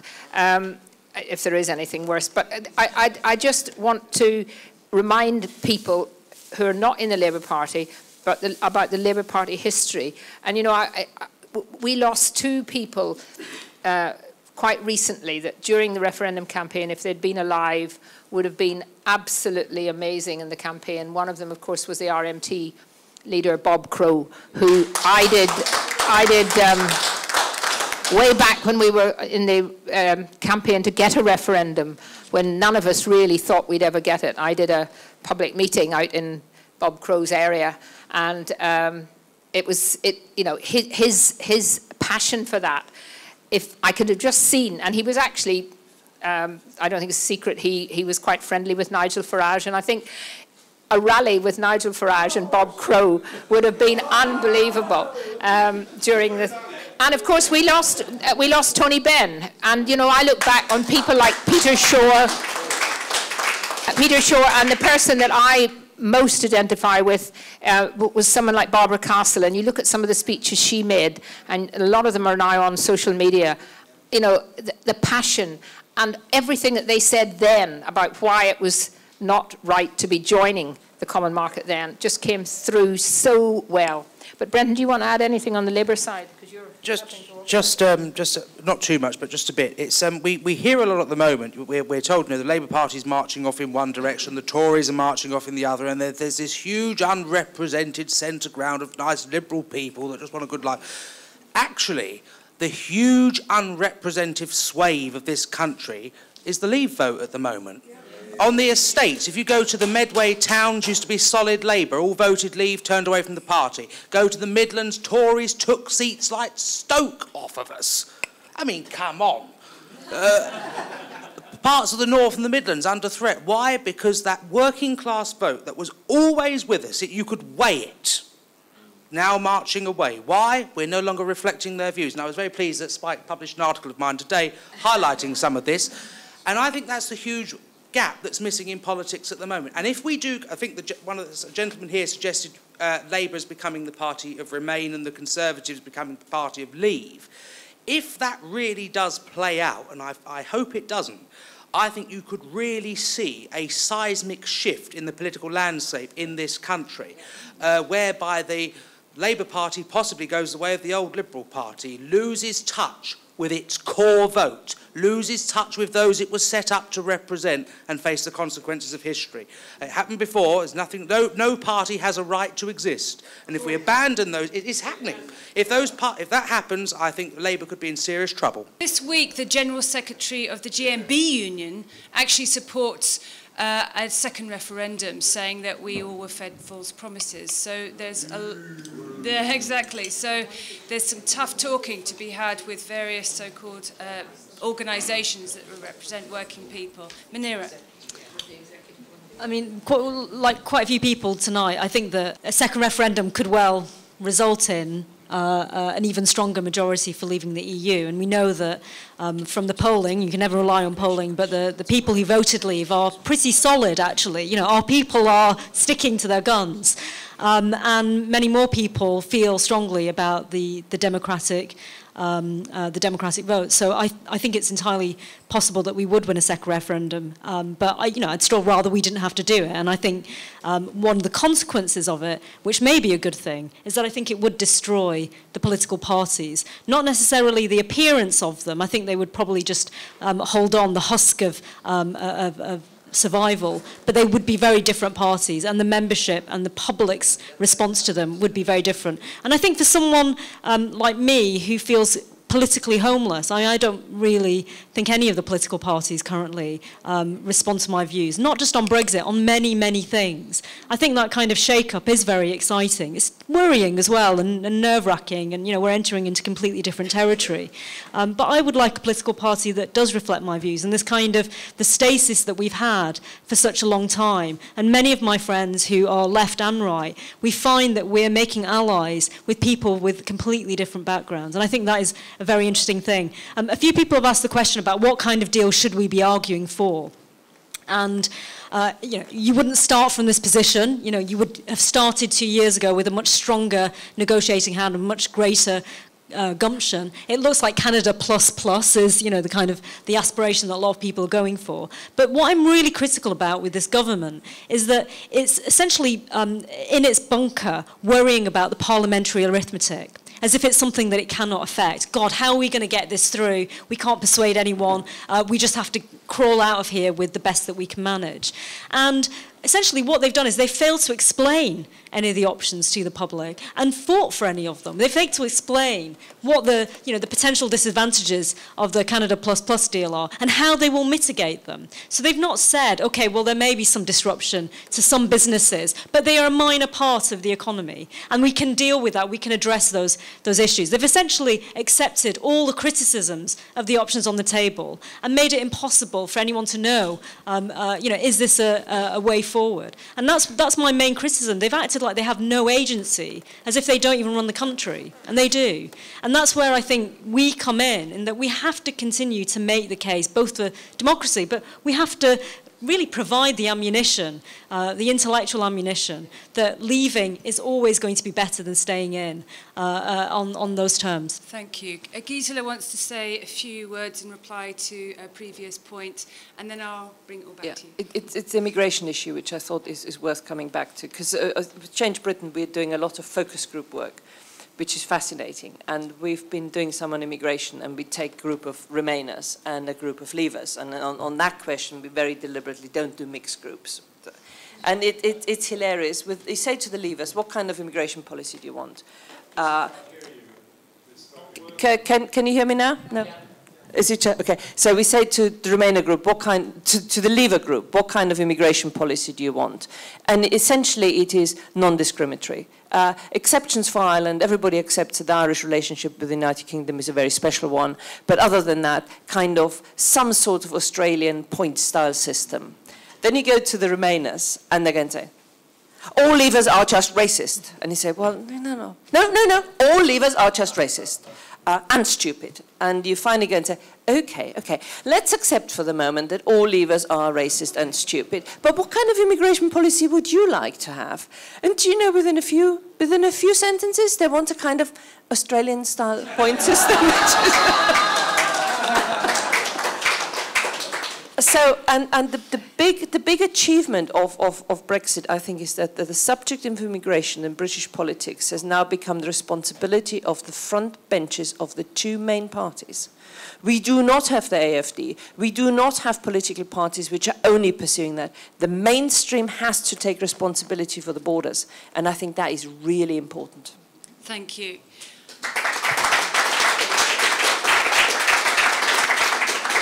We're starting to tackle some very difficult questions here about what unites us and what doesn't unite us. But of course, this rally is about democracy and how we get together to advance that cause. So uh, focus uh, the points on that. But there's a gentleman in the middle who's been waiting a while. I think Mick is mistaken. If he follows my lead, goes next week down to Parliament Square, goes to Churchill's statue, he will see some incredibly moving words Britain that we all know if Hitler invades Britain, it won't be that bad. Giza and Kate, thanks very much for your uh, fortitude over the last couple of years. It must have been quite difficult. Now, uh, Nick Timothy came out last week um, moving from Czech, um, Theresa's lapdog, moving from, former lapdog, moving from Chequers to EEA. Um, and though I doubt anyone here knows him, there's a business journalist, Ambrose Evans Pritchard, who was formerly a Norway man and is moving very strongly for, for, for Canada.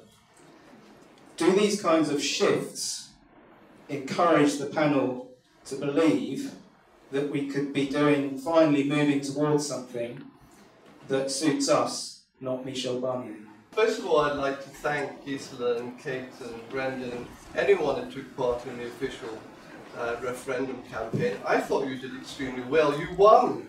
And then, you know, for that, given all the odds were against you, I think it's very sad people think you did do a good job. You did, and you should be very proud of it. Uh, my name is Professor Alan Sked. Uh, one of the things I did in the past was to found the UK Independent uh, UKIP is now what is dead as the Chequers plan. Uh, so, as I do envisage some kind of political realignment taking place uh, after the, the immediate squabbles over Brexit, uh, I've set up a Clean Brexit Party, and you can find out about it in cleanbrexit.com on the web, cleanbrexit.com. I do think we have to get together. I do think there will be a realignment. And I think we need a democratic, progressive, uh, non-racist, uh, pro-Brexit, uh, moderate but uh, reasonable, but also far-looking party. And we've set out on that website a whole range of policies which I hope will appeal to people. But congratulations to the organisers. We all have to get together what Gisela, Kate and others did during the referendum campaign. So I, I think we should get together and look at cleanbrexit.com. So I actually had a question for the, uh, for the panel. The, the political dividing line in the country now seems to be between people who uphold democratic principles uh, and people who don't, uh, who are actively uh, trying to flout uh, the principles of democracy. That seems to be by far the, the biggest problem that we face. What should we be doing to aid uh, a political realignment that realigns British politics on the lines of people who are for democracy and the democratic principles uh, and, the, and, and, the people who are, are against it? What should we be doing to make that happen? Just on that last point, I think uh, political realignments uh, in this country are incredibly difficult to take place given our electoral system. Uh, we have a very adversarial uh, parliamentary system, physically and, and also politically. Um, no party, except for UKIP in the European elections last time, uh, has ever beat Labour or Conservatives. Um, I think we're very fortunate in this country that we have two parties that do encompass a broad range of opinion. Um, I think what we need to focus on actually is something Gisela just touched on. Actually, when you talk to people that voted Remain, a lot of the things that Leavers believe in, they also believe in. Uh, only Leavers believe in doing it outside the European Union and Remainers believe doing it inside. Um, I think there needs to be an acceptance uh, by those very powerful Remain individuals with extraordinary wealth behind them that the people who voted and you can't say, oh, well, we have a referendum again. What happens is you have a referendum, uh, you test it out, and generationally, if, it goes belly up in 30 years, like the country might change its mind. I don't think it will. Uh, but this argument that they deploy that, oh, it's like a general election, you know, it happens every so often. No, what happens is a government gets it, it implements its policies, and after they've been experienced and tested, if we don't like it, we kick them out. Uh, you don't say, well, we voted them in, and now we've got to have a referendum on every single policy they put through. Um, so I think what's going to happen is an effort has to take place within political parties, within communities, trade unions, to try and get the acceptance of democracy. I personally don't think a big party realignment will happen. I think what will happen is the demographics that support uh, the two main parties will change. I think it is changing. Thank you. Again, going back to some of the uh, research we've done uh, for Change Britain, we did 4,000 interviews, 2,000 before the 2017 election, 2,000 afterwards. And what was really interesting is how the, the under 35s actually don't have uh, have completely different political alignments, and they're not they're neither left nor right. The one thing which struck me, which really puzzled me, was that they they didn't believe in the contributory principle, i.e., don't, don't save for your pensions, because quite frankly, they thought by the time you know I might get to pensionable age, I'll have to work till I drop dead anyway. Uh, they absolutely fervently believed in the NHS, and they wanted to. Uh, the thing which, which, which made me go, hmm, was they all wanted to nationalise the railways. And then I thought, are they Thatcher's children or are they Corbyn's children? And we did a bit more work, and I realised they were neither. They just thought this, the government was crap. uh, so, so railways uh, costs, me the earth, rubbish, rubbish service, might as well nationalise it, can't be any worse. And the only institution which, strangely, they're really bought into, they wish to contribute to, because rich or poor, wherever you live, through the generations, were the hospitals. So hence the so, so what I think is happening that the, the Labour Party is becoming like the American Democrats. So it's becoming a rights-based, uh, metropolitan, uh, public sector workers, universities. Uh, and that is the real challenge because our now election system is the Labour Party is prepared to write off. I mean, Andrew Adonis last night on, on, on LBC said if you want to, if, if you don't want to, you know, if you want to implement Brexit, don't vote Labour. So I said, are you saying to the people in the northeast and the northwest, and the local elections in May, don't vote Labour? And he said, well, no, not, not, not if they, they, they, they know they care about Brexit. And I suddenly thought, how can we do that? How, how can you have a Labour Party that is prepared to go for the margins of the vote? Because that's what it is and abandon the core because we know exactly where the core is going to go. They, that's where they went in the 80s, they went to Thatcher. So, so I think the realignment will be uh, regional, it will be intergenerational. And the thing which worries me, and I finish on that note, is that just like the second referendum, I, ha I have no fear of a second referendum because I think we'd win it.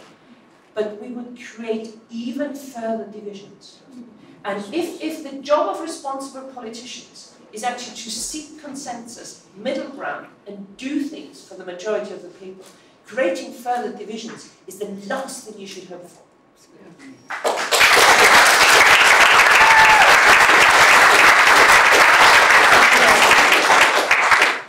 Yeah, I, mean, I'm, not in I'm not in the business of trying to um, predict what happens in politics, because I think that's just clearly I'm, I'm just as ignorant as anybody else. But um, I think one, one thing that is striking is interesting. Gisela says that you know, there's so many Labour politicians who are cloth-eared about what the public is telling them.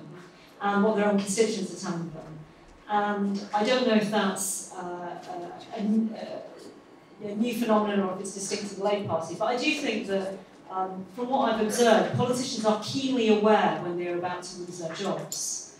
And it does tend to uh, change um, the way that they feel about things. And they can do spectacular U-turns. I mean, Andy Burnham's a very good example. uh, Andy, actually, I, I, met recently. I liked him as a person, but you know, he is well known for being a, a flip. Um, and I think it's interesting in the, in the Conservative Party that um, you know, my former boss, um, Boris, um, he was a very, very low aware, just at the point where he um, quit the leadership contest two years ago, and everyone thought that he was done for. Um, just because he resigned on the basis of Brexit and is now riding high, you find that in Parliament, politicians have a very different view about him. And it shows how fickle politicians can be as well. And I, you know, again, present company accepted, and who stuck to their principles. But um, this idea that having power and then relinquishing it or giving it up, um, it doesn't sit well with a lot of politicians. They like to keep their jobs. And uh, I think that, that one thing we could do is um, remind them of you know, the gentle political pressure of the public that voted for them. And things like Change Britain, um, which Gisela chairs, is really important for that because it is about constantly reminding them um, that there is another countervailing pressure. It's not just about what's happening in the NEC or in their circles in Westminster. It is about ultimately what the constituents are like to do. And um, you know, I think the fact that the majority of people in this country in the last election did vote for, for parties that said that they would deliver Brexit I think it's a, is a really important um, um, uh, argument. Thank you, Nick. Just on the question of political realignment, I think it's important to recognise that it is happening. Um, and that is one of the reasons why politics and the elections have become increasingly difficult to predict. Um, from leave areas to remain areas, uh, it becomes very hard to know who's going to win uh, any particular election. No, that is happening but it's happening within, almost within the kind of corpus of the old political parties, uh, rather than anything new emerging. And I think that's, until that happens, uh, we're going to be left with this extremely difficult uh, flux situation where, where, where uh, there's no clear lines of, of uh, demarcation and battle. I, the thing that, I'm very optimistic about the, uh, what's happened with Brexit. The thing that, the only thing I find really depressing about it is, you know, this room is very unrepresentative in the sense that there are a lot of people who think themselves as left-wing who are pro-Brexit. That is not what left wing means in British political discourse now. The left are pro EU and anti Brexit. And I'm very delighted that uh, Tony Benn got mentioned because you know Tony Benn is kind of put on a pin for many people who are kind of Corbyn supporters, but put on a pedestal. But at the same time, they actually forget and deny the whole Bennite tradition on the European Union and, and, and, and the common market. Does. Yeah, all, yeah, it's, it's, confronted with this father's words. I've completely forgotten the way that Benn wrote about and talked about how being a Labour minister going to Brussels was like being a slave taken to Rome in chains to meet the emperor. now, you don't hear that talked about in, in, the great Tony Benn quotes that are knocking around in Corbynite circles these days. So, um, and when Benn and Foot uh, campaigned um, against uh, EU membership of the common market in 1975 in the referendum, they were not in the slightest bit put off by the fact that they were in a minority and they were in a minority on the same side as Enoch Powell. You know, they were standing for the principle they believed in, and I think this is, this is what we need to, to uh, reintroduce, is the idea of radical Democrats who, regardless of who we find ourselves on the same side of, are prepared to stand up for what we believe in. And the left's abandonment of democracy is, for me, and, and, and, its attempt to cozy up to the EU is one of the most depressing features of, of politics and the most screaming need for political realignment I can think of.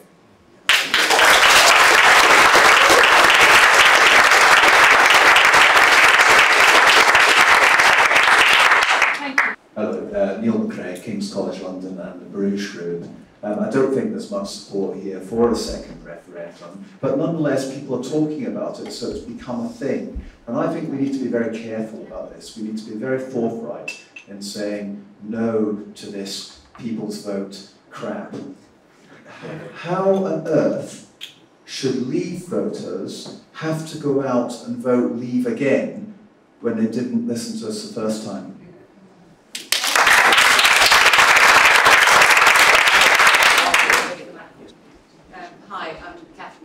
Hi, I'm Catherine I work at the IEA. And um, I'm um, also very concerned, as, as uh, some of you have said, about um, the idea that they're, they're pushing it. It's impossible to move to to um, leave the EU in the time, so we have to extend the Article 50, etc., etc. And I think it's very important that the general public remembers that 60% of our exports already go on World Trade Organization deals. So we know how to do that. Our ports are set up. Anyone who exports already knows how to do that. We already have the majority of our immigrants, including me, coming in under the visa system, the tier one two to five visas. So we know how to do that. It's not like we can't do that. We already do it, and we do it for the majority of our immigrants. This idea that we will be floundering if we leave and we'll have no idea what to do is just rubbish. I, I talk, uh, I deal with financial services in my job, and I can tell you everyone in the city is ready to leave now. They have to be. They cannot wait for Theresa May to make up her mind. They've been ready for years from the day of their referendum. They've got small offices in the EU that they can, they can back-to-back trades through. Thank they you. have done it all, and the very big businesses who sponsored the Remain campaign, they um, uh, already had offices there. With the exception of Goldman Sachs, everyone else already had a completely Thank fungible you very much. office. Um, we're running out of time now, but I want to get you all in, so please keep your comments really short. My name's Kate, and I want to go back to T'other Kate's point very early on that on the day after the referendum, our very big mistake was to relax. Um, and what I would like to hear is plans for next steps. Excellent, we've got this meeting now.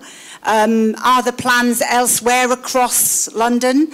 Um, and particularly several people have mentioned going door to door, which certainly I did during the campaign. It feels urgently that we have to absolutely be going door to door saying yes. we've got to walk away if needs be. Thank As you. just been mentioned, we'll cope. With the current government uh, currently in charge of Brexit, does the panel think it might be um, beneficial if the Prime Minister were to change? And of course, the front runner is Boris. Um, do we think that would be a good um, idea? Munira, do you trust him? I'm not sure I do. But uh, Ben Hatfield, we all believe, I think, in the room that the elected politicians, the MPs, are not going to or are going to try and not honour the vote. Yeah? Um, at what, it's all going to happen over the next six months.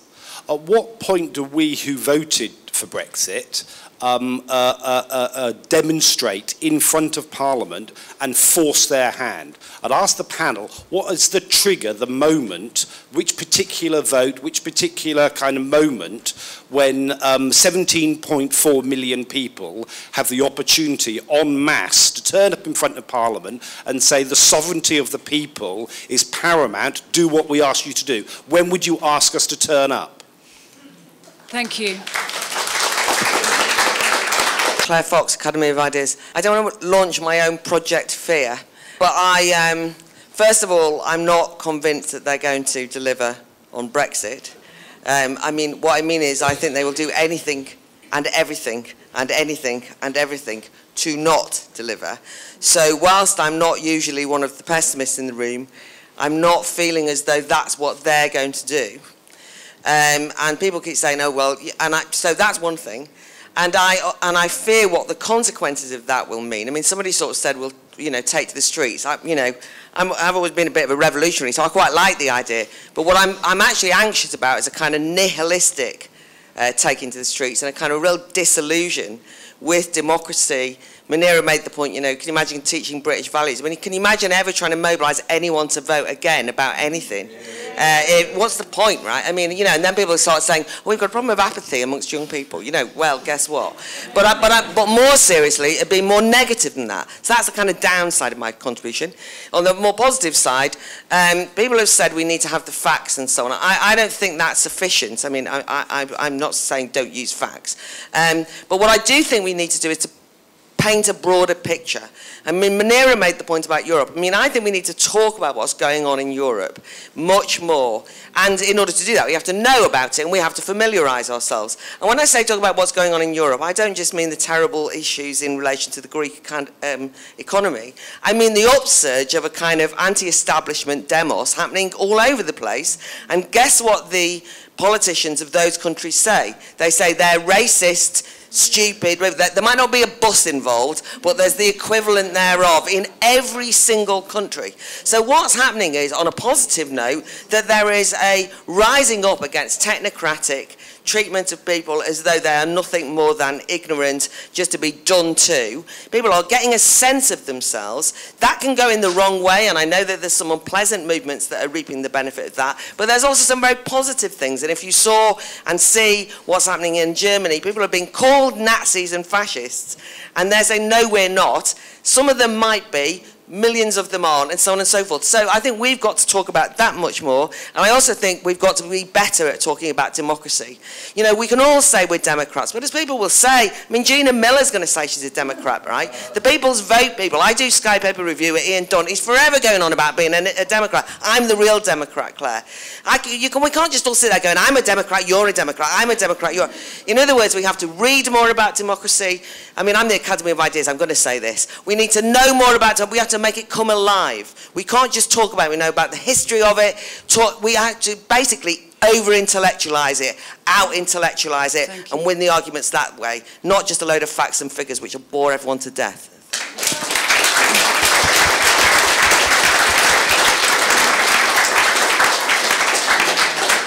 Thank you very much. And with your indulgence, I've already discussed this with David. Two points, both practical. Quick, thanks. Yeah. Some people were asking, what can we do? What can we do practically? I can tell you that um, that Facts for, e, Facts for EU have produced a Brexit back, battle pack and toolbox which tells you individually how you can campaign to honour the vote.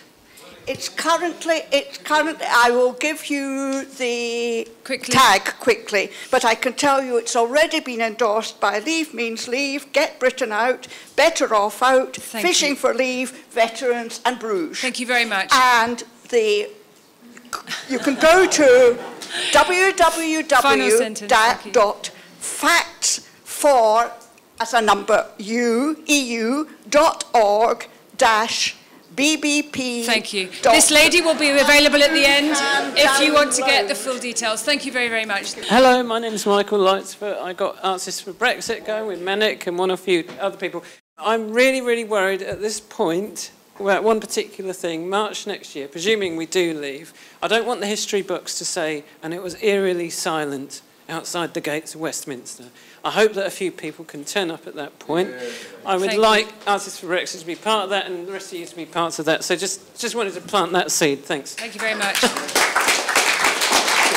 I'm worried about you being too complacent about the people's vote because the, um, when you say, uh, I think we'll win it if we have to do it again, because every version of the people's vote I've seen is a three-way vote where it's rigged so that Remain will win because, because the levers are going to be split. There's no version of the people's vote I've ever seen that, that's not three-way.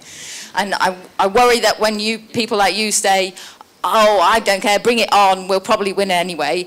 It's a bit of a hostage to fortune, because when Nigel Farage said that, they were then, oh, Nigel Farage wants another vote, Nigel Farage wants, but obviously he didn't say that. But I'm worried that when you say that, um, that will be picked out and represented like that. Good that. point. Thank you.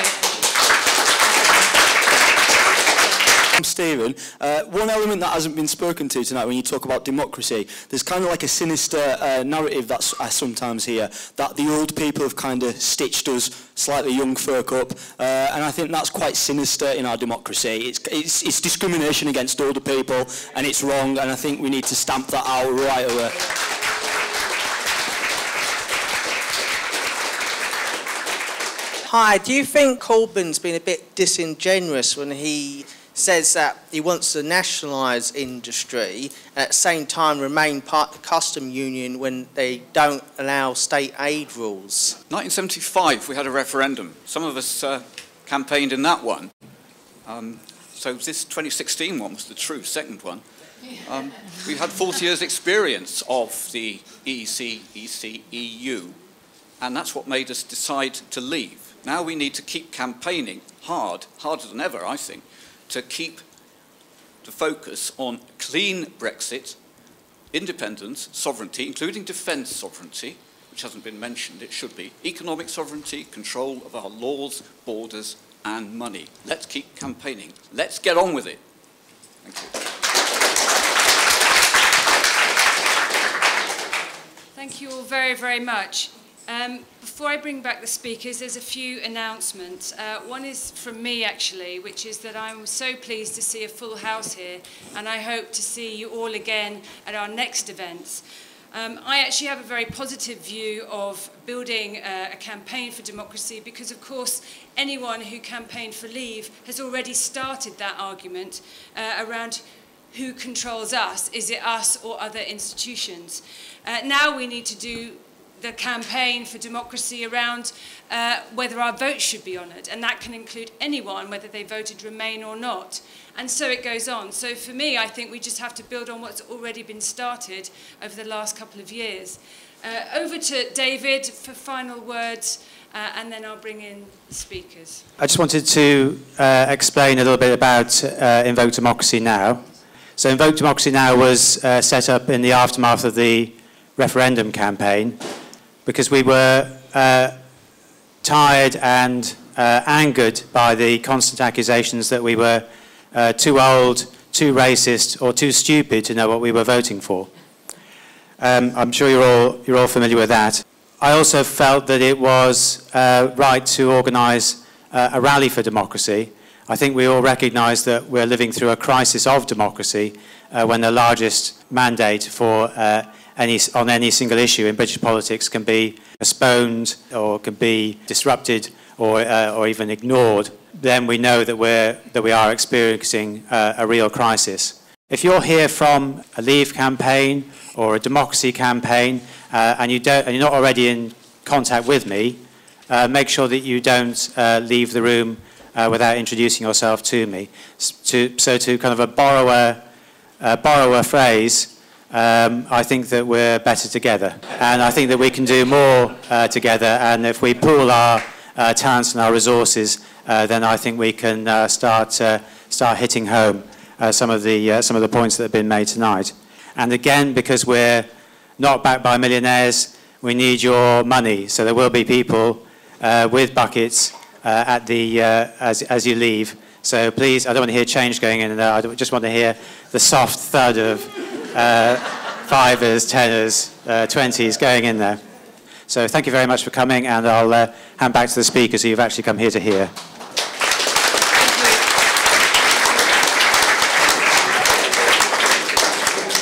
So the speakers to sum up in reverse order, Mick. Uh, okay, one uh, small point and one bigger one. Uh, on the small point, is Jeremy Corbyn being disingenuous? Yes. yes. yes. The rest of your question is not necessary. I think um, the idea that you can both at the same time uh, respect the referendum result and say that you won't countenance a no deal uh, is a complete contradiction uh, that he needs to be uh, had out and, and, and uh, brought to public book for. Uh, more substantially, people have talked about how can we put a positive case for what we mean by democracy and distinguish ourselves, our argument, at a time when the word democracy is used and abused uh, on all sides, so that, as we've heard, the people's vote, which is clearly an attempt to overturn a people's vote, uh, can pass itself off uh, in the language of, uh, of, of democracy. Well, um, what I have done with this since I wrote my book is to always go back to the, to the beginnings, what democracy actually means, what it meant when uh, it was invented uh, in ancient Greece, where it was largely a, a boo word used by the elites. Nothing changes there. But the two parts of democracy, demos, the people, and kratos, power. And the aim of every anti-democrat since Plato, right up to the Remain campaign today, has been to separate those two things uh, as far as possible. I think the great positive thing that the Brexit vote gives us, and the campaign for Brexit gives us, is the opportunity to bring the demos and kratos closer together and to change politics forever. And I'm quite happy with the slogan, uh, no deal, as long as it's no deal that sells short popular democracy. Thank you.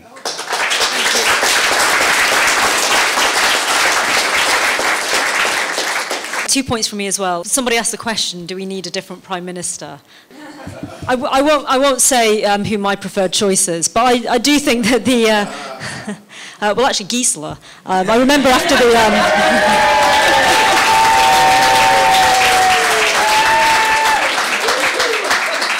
I do, some, I do remember um, in the 2016 fated um, Tory leadership campaign, a few people who were very close to the main parties involved did say to each other, can't Gisela just do it? He's so much better.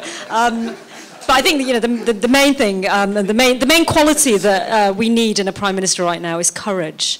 And courage is uh, a virtue that I think is, um, uh, is a rare a rare thing in um, political discourse today. We've seen some of the people uh, on this panel um, display that in, in spades in the last couple of years. But um, I think we, we need someone who has the courage in their convictions and has the courage to do things which, to do something which is unknown. We're in unknown territory. Um, and they have to be able to, um, to, to hold their nerve. Uh, so I think uh, there's a very a small field of contestants who could do that. The, the, I'd also like to thank Dave and Invoke Democracy Now! This, I think this is the third event that I've spoken at for you. Um, and I'm sure there are better people out there you could get. But um, I, uh, I, I, think it's fantastic that they are um, plugging away uh, and still doing this and bringing more and more people. The events get bigger and bigger. And I think it's a great idea to have a focal point that we can all think about. It's very hard to create a sense of urgency uh, with these things and to bring millions of people out onto the street. And, you know, it's not, it's not an easy thing to do. People at the moment out there feel that, you know, it's not really something that they can affect. But if there, if there were, and I don't know what the answer is, I don't know what that date is, but I do think that that's a, a very um, good question um, to think about as we, as we leave here tonight.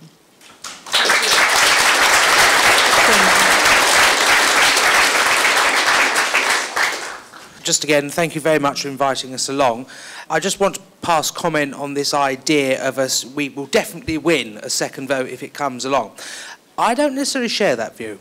I think for many, many years, we assumed, well, Remainers assumed that they would win. It was all going to be okay, Leave didn't stand a chance. And look what happened. We must never be complacent Remainers. We must constantly campaign for Leave, and if one comes, we've got to put all our energy and fight into winning it. And if we do that, we will win. One thing we can all do, those pesky Remainers outside Parliament every day, shouting, waving their flags. I don't think it's legal to attach banners to public railings. If we could all write a letter to Westminster Council tomorrow morning and just say, look here, antisocial behaviour, littering with your leaflets every day. I, you know. Have you already done it, Sharon? It's all right. Sharon's already done it. It's okay. Munira has just given me another reason of why I should continue to break out in cold sweat every time I hear, hear her voice. I'm going to let you into a secret now. She terrifies me. And she terrifies me because when we did the rehearsing for the, for, the, for the Wembley debates and the other television debates, Munira was standing in for the other side. And then we were floundering coming with, and there was Munira with this sort of precise, incisive questions. And I kept thinking, God, I wish that woman would just go away. I was actually better than Sadiq Khan on the actual night. I think I was more forceful than him. So, so Munir actually played a, a, a much underestimated role in, in, in, our success. But I thought I, I finish on an exceptionally positive note in a slightly different one. Is if, if you want to support an, a, a Brexit here, go and buy yourself a fantastic book. It's Austin Mitchell's Confessions of a Political Maverick. Um, I just picked up my copy. I've known Austin for a long time. He's an exceptionally good writer. He also, I think, gives a, a kind of history of sort of the last 40 years of the Labour Party and someone who, how he saw it. So if you need cheering up, dip into Austin's book. And in the meantime, thank you for doing this and keep up the fight.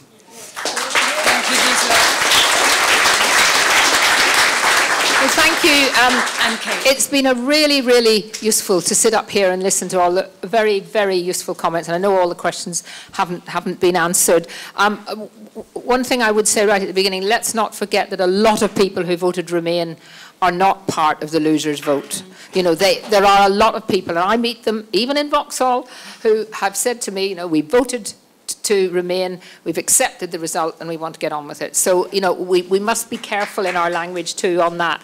Um, I, I, um, I, but I also think we should have no truck. I, I, whilst I think we would win, we don't want another referendum because I think there would be division. They would have different things on the ballot paper this time. And, and I think we have to have no truck with them and we have to actually go out and argue all the time that that is a real, real uh, an attack on democracy to have another vote. I, um, I see these people, as Brendan was talking about, as I walk past Parliament regularly, I'm usually shouted at and called a traitor. Um, I mean, I think it's quite interesting that, you know, uh, we're, we're, we're traitors, whereas the, the 17.4 million people, you know, are, are, they, are the majority, and the real traitors are those people who actually are trying to deny uh, the will of, of uh, the majority. Just one very quick thing, because it didn't come up tonight, but let's nail the complete nonsense about the Irish border.